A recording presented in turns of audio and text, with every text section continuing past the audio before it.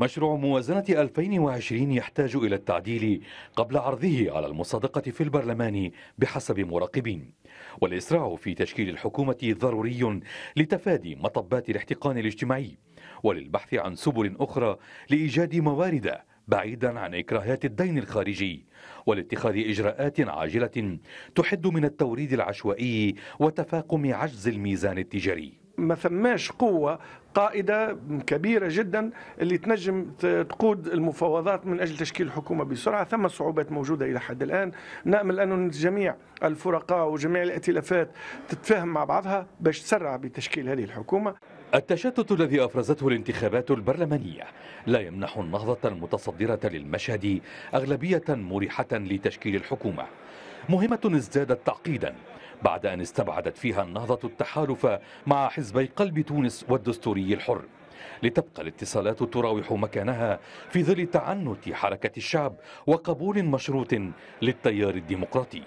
نحن ندعو من اليوم إلى اعتماد خطاب قيس سعيد كوثيقة سياسية لتشكيل الحكومة.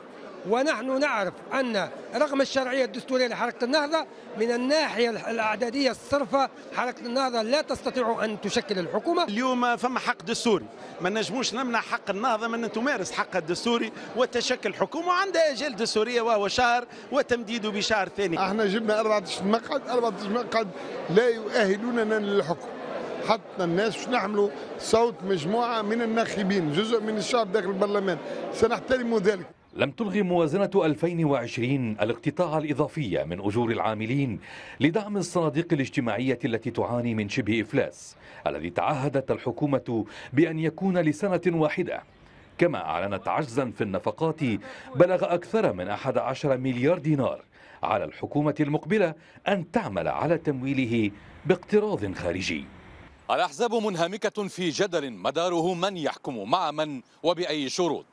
والحال أنه من الأولى أن ينصرف الجدل إلى استباق الأزمات والبحث عن برنامج إنقاذ وطني. يضع حدا لتفاقم المديونية وانزلاق الدينار وعجز الميزان التجاري ويؤسس لعودة الثقة إلى الإنتاج الوطني. أيمن شتارة تونس الميادين.